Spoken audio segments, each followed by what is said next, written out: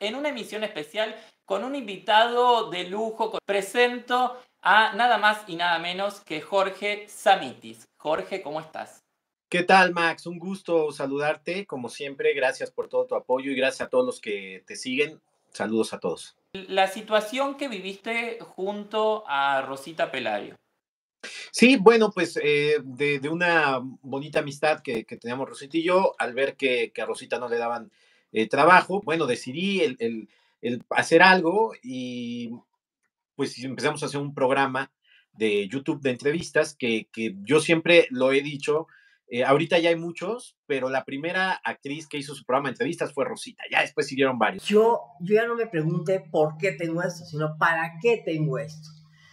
Y dije, claro, lo tengo para ayudar a los demás, para explicarles que, que ustedes tienen su cuerpo entero, pueden moverlo todo, eh, sus piernas, pueden caminar, correr, bailar, chacotear, nada más no hagan cosas malas, entonces sí se las cobra la vida, eso sí, pero este, la verdad es que puede uno disfrutar mucho de la vida. Pero eh, lo empezamos a hacer, llevábamos ya tres años con, con mucho éxito, y bueno, pues vino la, la, enfermedad de, Rosita y en ese proceso ella había invertido eh, un dinero de unas propiedades que ella había vendido, eh, lo invirtió en una financiera de una amiga de ella de, años, la señora Patricia Villafuerte, ella invierte ahí ese dinero y ella le, le propone, oye, ¿qué te parece si nos asociamos también parte de este dinero para la cafetería del Círculo Teatral, Teatro y Centro Cultural que pertenece al actor Alberto Estrella? Deciden que sí, eh, Rosita decide que sí. A la cafetería, por desgracia, no le, no le, no le va bien. Eh, Rosita pide su dinero. Dice, oye, yo quiero ya retirar mi dinero. Eh, ella tenía planes de hacer otras, otras cosas con ese, con ese dinero. Después viene su enfermedad, le detectan el cáncer y Rosita dice, bueno, pues necesito ese dinero para curarme, porque no, no tenía, Rosita no tenía seguro social. la ANDA, pues apoyaba, pero pues se necesitaba mucho más. Ustedes saben que una enfermedad así eh, no, no, alcanza el dinero. Entonces ella decide eh, retirar su dinero y pues le dicen que no, no se puede porque está en, un contrato y que el contrato vence hasta el 24, de, hasta el año 24, o sea, este año, en enero del 24, el 24 de, de este año. Entonces Rosita le dice, bueno, aunque sea préstame dinero para poderme atender, dame un adelanto, dame los intereses, y pues nunca, nunca se vio eso. ¿No? Eh, por último, em, ya esta señora se entera que, está enferma Rosita, hablan y le dicen, no te preocupes, yo te voy a devolver tu dinero en el 24. Por desgracia, Rosita muere el, 16 de, diciembre y pues ya no pudo ella recibir este dinero, pero hablamos con, con la señora Patti, la señora Patti dijo, yo les voy a dar el dinero conforme está en el contrato, el, eh, era toda, toda la semana pasada, era de lunes a viernes, era todo el plazo. Pues esperamos, esperamos, eh, este dinero va para la señora Ermi, que es la heredera. Resulta que la Patti fue la que me convenció de entrar a invertir a esto que ella quería poner una cafetería. Ya Alberto le dijo, sí, está padre. Y entonces ella dijo, ay, sí, ya tengo una inversionista más. Mira, la Pelayo, que no sé qué. Y todos éramos felices, entró otra persona y todo era lindo. Pero pues sí se hizo una estructura grande para montar el teatro y la cafetería. Ah, y Pati es la que maneja la cafetería. A mí lo único que me importa, y como se lo dije a mi amiga, a la Pati, se lo dije, porque yo con Alberto nunca he hablado de negocio. Pati, amiga, 200, 300 que me des. Operarme ahorita, porque yo no es operarme. Nunca creí decirlo, de vida o muerte. O sea, nunca lo pensé decir, pero así es, ¿no? Y el doctor me dijo, no, es que esto ya es muy urgente. Siempre fueron muy amigas y ella veía que Patricia era una, una mujer eh, eh, exitosa en su negocio y que le iba bien económicamente. Entonces ella lo hizo. Creo que sí, ya después, sí, Rosita, sí, como que pues la regué, ¿no? O sea, mejor lo hubiera, lo hubiera invertido en otra cosa, ¿no? Lo hubiera hecho de otra manera. Bueno, ella siempre estuvo confiada en que me dijo, es mi amiga y, mi amiga me va, me va a dar el o sea, mi amiga no, no, me va, no me va a estafar. Y eso, así se fue Rosita hasta el último momento, pensando eso. Me duele incluso hasta platicarte esto, porque yo sé que es una, es una dama, es una mamá, es una abuela, o sea, no entiendo por qué llegó llegar hasta este punto. Incluso Rosita a veces em, no tenía, eh, eh, dinero para desplazarse de, su casa al consultorio. Entonces decía, oye, aunque sea, préstame 300 pesos para pagar eh, eh, un, Uber, ¿no? No, no tengo, no tengo y no tengo y no tengo, ¿no? E, ella ahora nos dice que nosotros somos los que, eh, bueno, todavía estando viva Rosita, que hicimos público esto y que le hemos ocasionado un, acoso, ¿no? Mediático y que incluso hasta le congelaron sus cuentas, que eso yo no creo, ¿no? Que dice que le hicieron una auditoría por nuestra culpa. Yo, yo no creo, porque nunca, no hemos hecho nada legal, entonces yo creo que esto funciona de manera legal. Eh, lo que sí, pues se tuvo que, decir, pues sí, la verdad se tuvo que decir porque pedimos el apoyo eh, para la operación, porque no había dinero. Mi Pasquel dijo, hay que hacer un cartel, hay que movernos y tal, tal, ¿no? Y en todas las redes y no sé qué tanto, y anunciarlo en todos los programas. Así ha sido. Y no sabes qué bonita respuesta de la gente que me está ayudando para juntar la lana para el hospital y para el doctor. Me lo dijo el doctor, esto era para antier, pero bueno, pues sin dinero, pues sin dinero baila uno como perro. Entonces, eh, ella le dijo, no te preocupes, aunque sea dame nada más 100 mil, dame 200, lo que sea, pero necesito el dinero, ¿no? Y pues no, no, nunca, nunca, nunca llegó este, este dinero. Todavía Rosita, eh, estando ya diagnosticada, con el cáncer y ya con las quimios, todo esto, la pasa a visitar eh, a su casa y ahí vuelven a hablar y ahí quedan que sí, que se, que se va a entregar el, dinero, ¿no? Rosita nunca creyó que, que, iba a fallecer, ¿no? Sí se lo dijo muchas veces a Rosita, dijo, es que no, no, no tengo fondos, es que necesito encontrar otro inversionista para devolverte tu dinero, que eso a mí no me queda claro y yo se lo llegué a decir a Rosita. O sea, yo decía, ok, a ver, eh, no tiene fondos para devolverte tu dinero, pero necesita buscar otro inversionista, sí, de lo que invirtió ella en el café, estoy de acuerdo. Eh, hasta que llegue otro inversionista, te devuelvo tu dinero, correcto pero de, la financiera, o sea, ¿por qué no te devuelves el dinero de la financiera? Si se supone que, está ahí, o sea, te, lo doy ya, ¿no? Punto, ¿no? Entonces, eh, yo hasta lo llegué a platicar con Rosita, que me decía, pues a lo mejor ella lo, lo invirtió mal, lo prestó, o sea, a lo mejor mi dinero todavía no lo recupera ella, pues hasta le voy a dar chance, o sea, todavía ella pensaba en eso de, o sea, no la va a presionar, o sea, está bien, que, como, como sea, en pagos, por partes, como sea, pero que me caiga un dinero.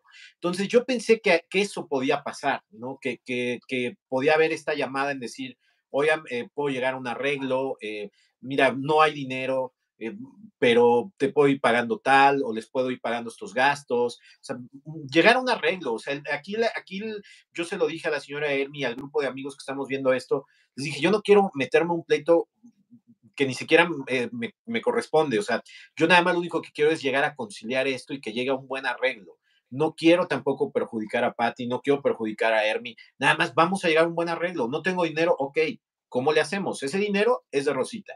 Y a mí lo que da más sentimiento, Max, es a dónde iba a parar ese dinero que con tanto trabajo mi amiga le costó juntarlo. Hola amigos, soy Rosita Pelayo. Oigan, me tienen aquí afuera esperando a ver si ya vienen al teatro. Quedan dos funciones, ¿eh? El 22 y el 29. Entonces no sean perros. Vengan a verme porque ya me voy, ya me voy de este teatro, ¿ok? Pero no son malucos, vengan a verme porque se van a reír de mí, de ustedes y de la vida.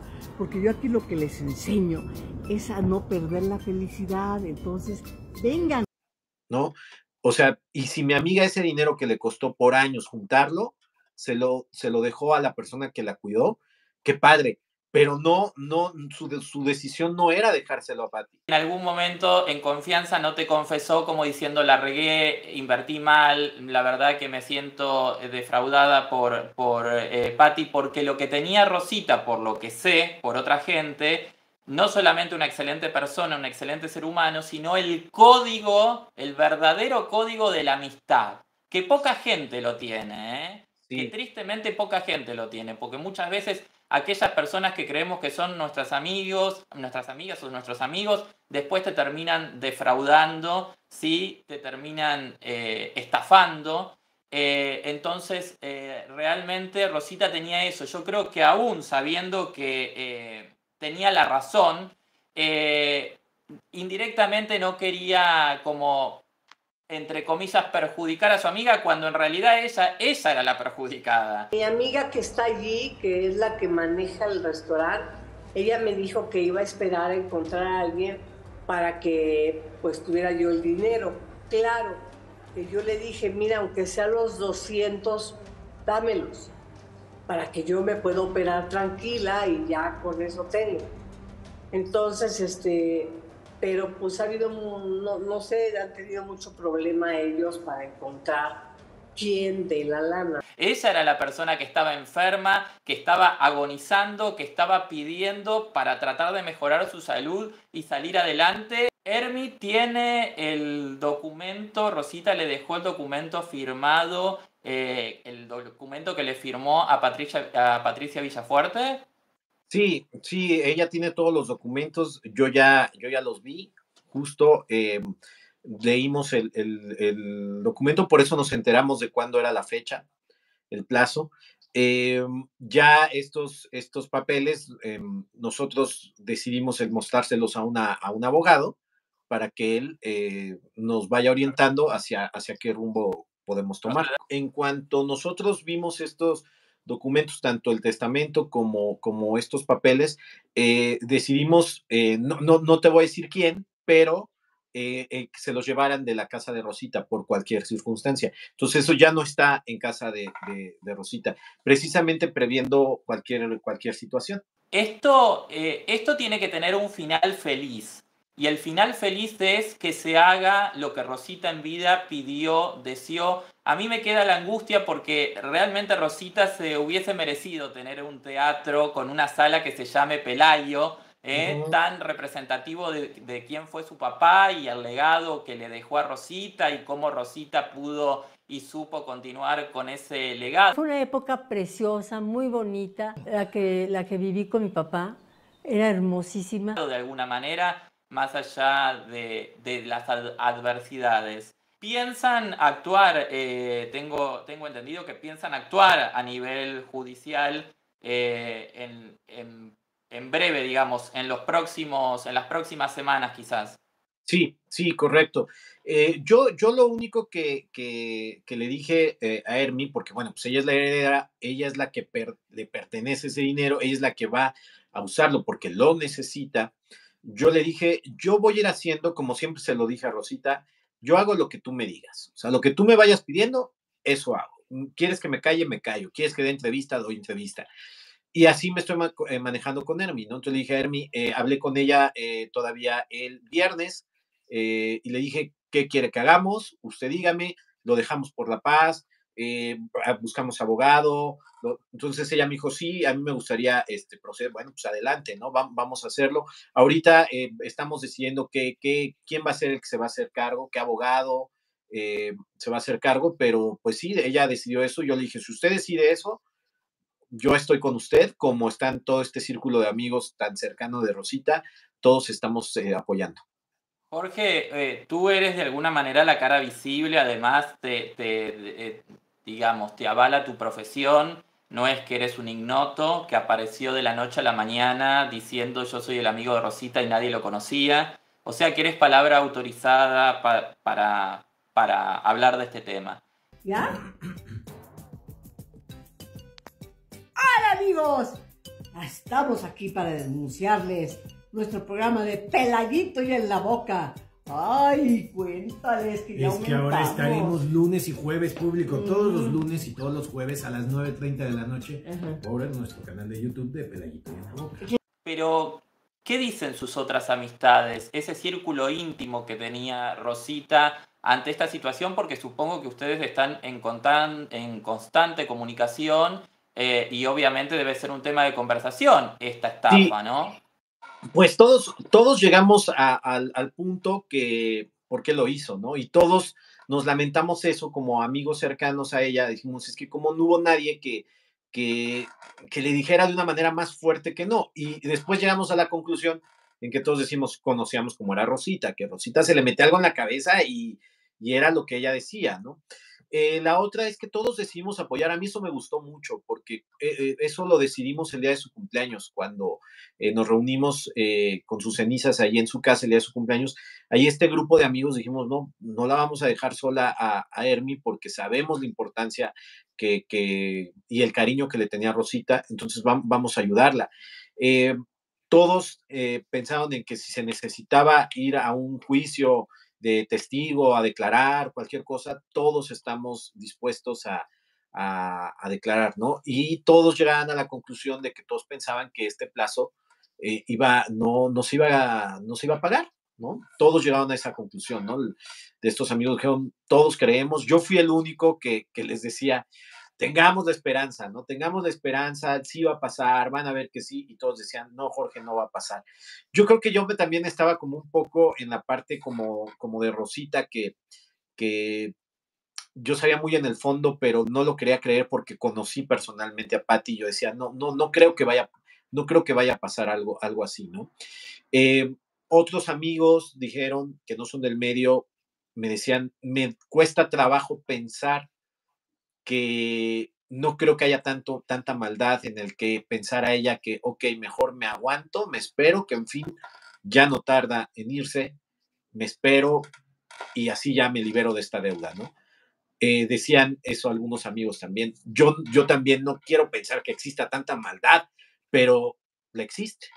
Totalmente, lo que quizás la, la, señora no sabe es que cuando hay un heredero y hay un dinero en suspenso donde se sabía y hay un documento firmado, la persona que queda como heredera universal puede reclamar ese activo, o sea, no entendido, por lo menos las leyes aquí en Argentina, no es que se falleció la persona y chau, me, me liberé de, de, la, de, la, deuda que tenía. ¿Por qué? Porque la, la deuda fue, la contrajo en vida y el documento estuvo firmado, o sea que eh, digo, no creo que quede exenta la señora de tener que pagar este compromiso, que no solamente es un compromiso económico, sino que también es un compromiso moral. ¿eh? A mí me empezó a llamar un poco la atención cuando Rosita reclamaba y digo, bueno, a ver, el millón y medio no te lo puedo devolver, hay un contrato firmado, me avala, tienes que esperar a que, a que caduque, a que, a que la fecha eh, se cumpla la fecha,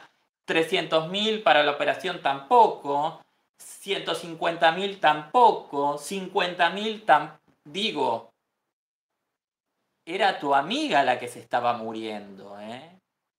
Porque literalmente Rosita Pelayo se estaba muriendo. Correcto. Entonces, hablamos de una situación que va más allá de lo económico. Yo no puedo mirar para otro lado cuando sé de muy buena fuente todo el sufrimiento que tuvo Rosita Pelayo en vida hasta su triste final. Y esta situación, además de llevar a cuesta una enfermedad así, sin dinero, cuando en realidad el dinero ella lo tenía. En el velorio de, de Rosita llegó Pat, llegó Patty, yo estaba casi a la entrada, entonces eh, llegó llorando, me, me, levanté, me dijo es que quisiera pasar y todo, entonces yo me acuerdo que yo lo que le dije fue, eh, ustedes ya hablaron, eh, hablaron dos, dos, dos, ocasiones sobre el dinero, le dije yo la, la, la, primera Rosita todavía estaba en su casa, la segunda me parece en el hospital, le dije bueno, ya hablaron, ya quedaron, no veo por qué no puedas pasar, si es tu amiga, yo lo entiendo eso, ustedes ya ya se arreglaron, adelante. Entonces ella entra y ahí eh, dos personas, amigos también de Rosita, eh, pues se levantan y, ella dice que la amenazaron, que no fue así. O sea, ellos le dijeron, oye, tienes que pagar y cumplir eh, lo que acordamos, porque si no, este, pues vamos a tomar acciones, ¿no? Y ella se sale llorando. Y entonces yo la alcanzo. Digo, ¿qué pasó, Pati? No, es que no tuve que haber venido, es que mira, me amenazaron. No, Pati, no te están amenazando. Simplemente te están diciendo que hay que cumplir, eso es todo, ¿no? Y fue la última vez que, que, que hablé con, con ella, ¿no? Pero eh, después yo decía, bueno, entonces ¿a qué fue? ¿No? Al funeral, ya mejor me hubiera parado ahí. Totalmente. Jorge, en todo este tiempo, más allá del tema eh, económico y el compromiso que tenía adquirido Patricia Villafuerte con Rosita Pelayo, eh, ¿se hizo presente? ¿Llamó por teléfono a Hermi? ¿Preguntó si necesitaban algo? No, no, no, no, no, nunca, eh, desde que se enteró ella del, cáncer de, Rosita, no, no hubo llamada. Eh, yo siempre algo que le preguntaba a Rosita, siempre que íbamos a grabar el programa, yo llegaba y le decía, ¿qué pasó? ¿Ya te habló? Qué te dice, por lo menos te habla para saludarte, para preguntar cómo estás. Cuando se hizo público que necesitaba dinero para, para pagar las quimioterapias, las radioterapias, se le dije, ya te habló. No, nada, nada, nada. O sea, en ese momento nunca lo hubo. Entonces, si estando viva Rosita, no hubo ningún contacto, pues mucho menos para, para nosotros. Fíjate, lo curioso es que, que varios de los amigos cercanos a Rosita Ahora le hablamos a Hermi, ¿no? Así de cómo está, qué necesita, todo bien, sí, todo bien. Entonces, porque sabíamos de, ese, de ese aprecio. Entonces, por lo menos, no sé, aunque sea una llamada de, oiga, ¿cómo está? ¿No? ¿Cómo se siente ahorita que ya se fue Rosita? Este, no crea que se me ha olvidado lo del dinero, seguimos viendo la manera de cómo conseguirlo. Por lo menos eso, ¿no? Que se, que se viera una disposición de su parte en arreglar las cosas. Yo insisto, vuelvo, vuelvo a insistir, yo, yo no quería llegar a un pleito así. O sea, es lo que menos quería eh, llegar a, una cuestión así, tanto para Patti como para nosotros, sus amigos, ¿no? ¿Para qué estar metido en pleitos? Pero también yo a veces digo, híjole, me cuesta trabajo de repente estar metido en esta situación cuando digo, híjole, se puede arreglar por fuera de, de, los medios y rapidísimo, se puede arreglar, es más, Max, se puede arreglar en 15 minutos, esto se puede arreglar. Todo consta en una llamada, en decir, me comprometo tal día, te voy dando tan, tanto dinero y se acabó. O sea, en 15 minutos queda resuelto este asunto. Pero el problema es que no hay disposición de, la señora. Para no confundir y, obviamente dar la información exacta y ser justo, que Rosita, ¿sí? Eh, invierte su dinero, se lo da a Patricia Villafuerte. No tiene nada que ver en, ese, en esa transacción, en ese acuerdo, en ese documento firmado. Tengo entendido que no tiene nada que ver Alberto Estrella.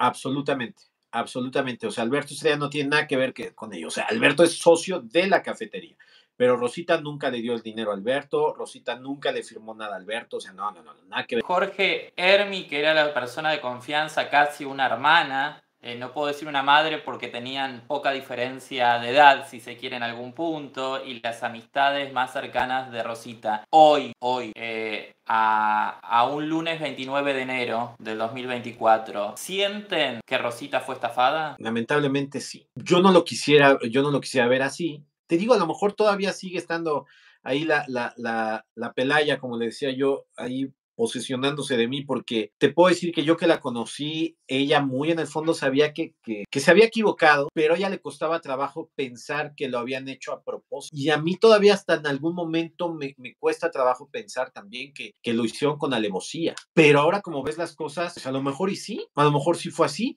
a lo mejor y pensó que me dé esta cantidad de dinero, yo nada más le doy los intereses, ella va a estar feliz y algún día tiene que pasar algo, yo me quedo con el dinero ya, ¿no? Puede ser, puede ser, los amigos pensamos eso, sí, que me cuesta trabajo pensarlo, pues también, porque te digo, por la cercanía que también llegué a tener con, con, con Pat. Me, me, cuesta mucho trabajo pensar que, que, lo, pudo, que lo pudo haber hecho de, de esa manera. Eh, yo no le quise escribir eh, ni le he querido hablar hasta que se cumpliera el plazo. Ya no se cumplió el plazo, yo pienso justo el día de hoy el marcarle y ni siquiera, ni siquiera discutir ni reclamarle, sino decir, ¿qué vamos a hacer? O sea, ¿qué sigue? Dime qué sigue, ¿no? O sea, ¿qué, qué vamos, o sea, ¿qué, qué, qué opción me das para no llegar a, a, un, a un, pleito grande, ¿no? Eh, le dimos su tiempo, la respetamos. Yo traté de ser prudente, a ti te consta y a los compañeros, traté de ser prudente, no, no comentar cosas de ella, en no sale, estar dando entrevistas de ella, porque también siento que la pongo un poco eh, eh, en riesgo mediáticamente a ella, pero pues ante esta situación pues ya no se puede hacer nada.